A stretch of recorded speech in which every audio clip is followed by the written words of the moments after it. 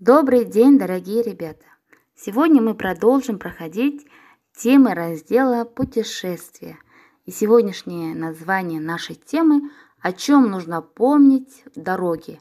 Жолда жүргенде біз нені ұмытпауымыз керек. Урок 64 у вас в учебниках на странице 74, 74 бет. Откройте свои книжки. Сегодня вы научитесь высказывать оценочное мнение о ситуации, правильно употреблять знаки препинания ценоспелеглеры, восклицательный знак леп и вопросительный знак сурак Итак, ребята, безопасность, қауіпсіздік. Рассмотри рисунок, о ком и о чем рассказывает учитель. Назови героев картин и их действия, как они поступают, какие правила нужно знать, отправляясь в дорогу. Составь рассказ. А, э, посмотрите, ребята, учитель а, показывает своим ученикам, а, что мы должны делать на дорогах и что не должны. То есть она учит детей правилам дорожного движения. Жол ережелері. Давайте рассмотрим а, все картинки по отдельности. На первой картинке, ребята, мальчик перебегает дорогу а, не в положенном месте, да? То есть там нету ни пешеходной полосы, зебры, ни светофора. И прямо перед машиной он выбегает. А это правильно? Нет, ребята, конечно же, это неправильно. А, ни в коем случае, случае не делайте так, как делает этот мальчик. Это очень опасно. Хаупте опасно. На следующем рисунке девочка переходит дорогу прямо перед автобусом. А, ответьте, ребята, как вы думаете, она правильно поступает? Конечно же, нет. Она поступает неправильно. Ни в коем случае не делайте как эта девочка. Если э, стоит автобус, мы должны подождать э, рядом с остановкой, пока автобус отъедет. И на этом рисунке точно так же девочка переходит автобус, э, только не спереди, а сзади. А так поступать и можно, как вы думаете? Нет, нельзя. Это тоже опасно. Болда Каупте. Сегодня на наш урок приехал в гости сказочный герой. Что же это за герой, мы узнаем с помощью загадки. Что за странный человечек деревянный, на земле и под водой ищет ключик золотой. Всюду нос сует он длинный. Кто же это? Буратино. Мы все знаем этого славного героя, деревянного мальчика с золотым ключиком. Кажется, Буратино приехал в город и хочет перейти дорогу. Мы должны ему помочь, да? Кажется, ему тоже э, нужно узнать о правилах дорожного движения. И у нас текст. Как Буратино учился ходить через дорогу.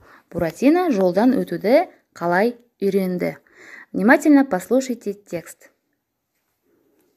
Урок 64. Послушайте текст. Как Буратино учился ходить через дорогу? Однажды папа Карло отправил Буратино в школу и сказал, будь осторожен в дороге. И Буратино пошел в школу. По дороге... Балалар, ә, буратиноны папасы карла мектепке жібереді дейді ә, және оған ә, абайлап жолда абайлап жүр деп айтады. Сосын буратино жолда келе жатырып ә, үш көзді зат көреді дейді. Трех, трехглазое существо дегеніміз үш көзді зат. Дороге в школу он увидел трехглазое существо и громко закричал. «Я иду в школу, а ты стоишь тут и моргаешь огромными глазами. Светофор спросил, «Буратино, а ты знаешь, где можно переходить дорогу? сосын буратино келе жатырып ә, жаңағы көрген затына мен мектепке барамын ал сен мына жерде тұрып алып үлкен көздеріңді жыпылықтатып тұрсың дейді. Маргайш деген жыпылықтату. Ә, ал оған ол үш көз зат не екен? Светофор. Бағдаршам иә? Бағдаршам не деп жауап береді? буратино ал сен жолдан қалай өту керек екенін білесің бе дейді Нет, ответил Буратино. Тогда светофор рассказал, что дорогу можно переходить только на зеленый сигнал светофора или по пешеходному переходу зебра. Буратино очень обрадовался, что светофор научил его правильно переходить дорогу. сосын ә, бағдаршам оған жолды тек қана ә, ақ зебра бар жерде және жасыл түс жанып тұрғанда өту керек екенін үйретеді. Буратино жол ережелерін үйреніп алғанына қатты қуанады дейді. Итак ребята в каких случаях мы ставим вопросительный знак? Когда мы хотим что-то спросить или в чем-то сомневаемся. Яғни біз бірдеңе сұрағымыз келгенде немесе ә, бір нәрсені білмесек біз сұраулы сөйлемді пайдаланамыз яғни оны қағазға түсіретін болсақ оған сұрақ белгісін қоямыз вопросительный знак Э, давайте ребята найдем есть ли в этом тексте вопросительное предложение я его кажется нашла а вы я думаю вы тоже нашли буратино а ты знаешь где можно переходить дорогу ребята обратите внимание на то как я э, сделала интонацию то есть мы должны менять интонацию речи, когда мы э, о чем-то спрашиваем. Дауыс ырғағымызды өзгертеміз. Ребята, а в каких случаях ставится восклицательный знак? Лепті белгісін біз қай уақытта пайдаланамыз? Мгм. Когда мы изумлены, да? Когда мы выражаем изумление, таңданыс білдірткенде, еще когда мы выражаем радость, қуанышымызды білдірткенде, и когда мы выражаем волнение, толқыныс білдірткенде.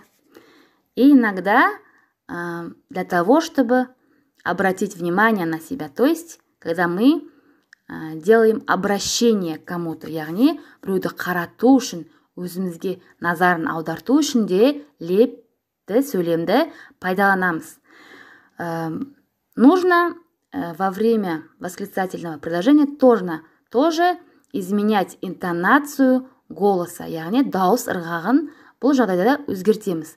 Давайте найдем восклицательное предложение в этом тексте. Будь осторожен в дороге! Яғни папасы сөйтіп айтады иә здесь папа Карла обращает внимание, то есть, э, чтобы Буратино его услышал. Э, Где еще есть восклицательный знак? Я иду в школу, а ты стоишь тут и моргаешь огромными глазами. Здесь, я думаю, это выражение изумления, таңданыс. Буратино таңғалып, осылай айтады.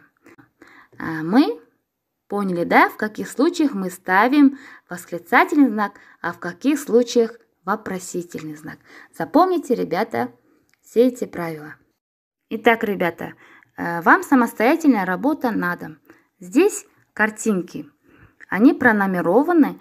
Вы должны будете написать номер картинки, один, например, и рядом написать правильно или неправильно. Яғни правильно дұрыс, неправильно дұрыс емес. Э, Затем ниже вы должны будете составить предложение по этим картинкам по образцу. Например, здесь мальчик играет с мячом. Точно так же вы должны записать остальные действия на картинке. Вот, например, э, э, по рисунку номер три по образцу у нас написано «Мальчик играет с мячом». Теперь остальные действия вы должны написать сами. На этом наш урок закончен. Спасибо за внимание. Удачи вам в выполнении задания и до следующего урока.